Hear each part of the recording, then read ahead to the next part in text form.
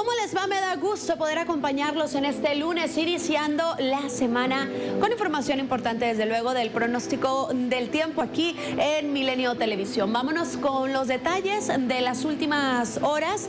Hay nubosidad escasa en diferentes puntos del país en cuanto a sistemas. No hay mucho que mencionar. Sin embargo, sí hacia partes del noreste del territorio nacional, asociado a un paso de un frente moderado, incrementó la nubosidad. Se reportaron precipitaciones de forma ocasional en algunos puntos hacia Nuevo León, hacia la parte norte de Tamaulipas. Estas eh, condiciones se reportaron tarde y noche y en algunos eh, sectores durante la madrugada de este lunes. Es una situación que, bueno, avanzó rápido sobre la región, ya que al día de hoy sigue el cielo medio nublado, pero ya vamos dejando atrás esta presencia de lluvia ocasional en zonas del sur y sureste. Si comparamos las condiciones de las últimas horas con la semana anterior, vaya que hay una notable mejoría en cuanto a las lluvias, sí se han reportado, pero ya de forma mucho más aislada. El panorama de las próximas 24 o 48 horas al menos nos indica que siguen las lluvias, pero dispersas. Eso es una mejoría. Sin embargo, recordemos que se ha estado reportando acumulados de precipitación bastante elevados,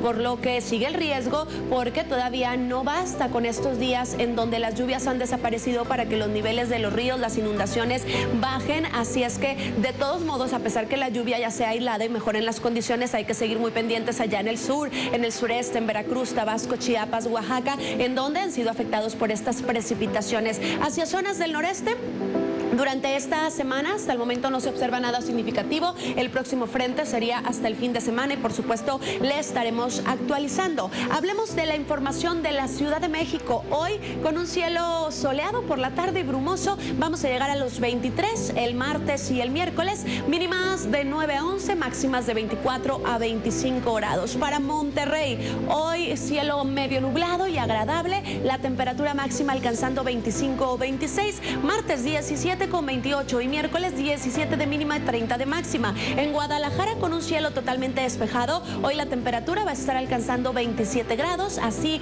para la Perla Tapatía los próximos días, mañanas frías, tómelo en cuenta si sale temprano, entre 8 y 9 grados, mientras que por la tarde las temperaturas van a estar oscilando entre 26 o 27. En el caso del sur del país, hablemos de las playas del Pacífico, en donde se mantiene un cielo soleado, parcialmente soleado, Ixtapa, Manzanillo, Acapulco, también Huatulco con temperaturas de 31 a 32. Toluca 21 la máxima, por ahí en Toluca las mañanas son más frías como de costumbre ya en esta temporada.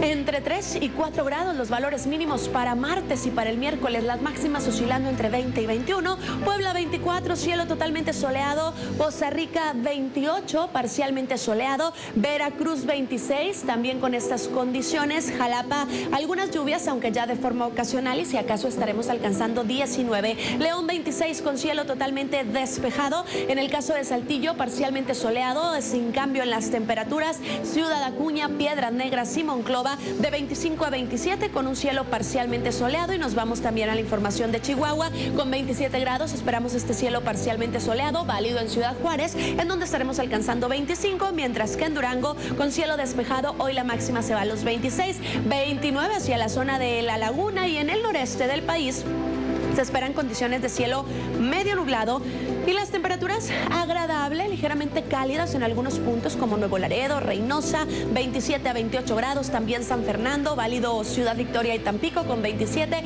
e incluso en Ciudad Mante un poquito más elevado con 29 grados. Esta es la información del pronóstico del tiempo. Qué gusto poder saludarlos, que sigan pasando feliz inicio de semana.